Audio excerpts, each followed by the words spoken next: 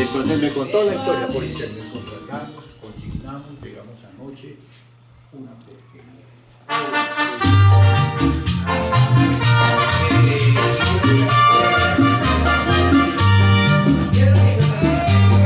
Sitio para jugar pool. Billar. Ping pong.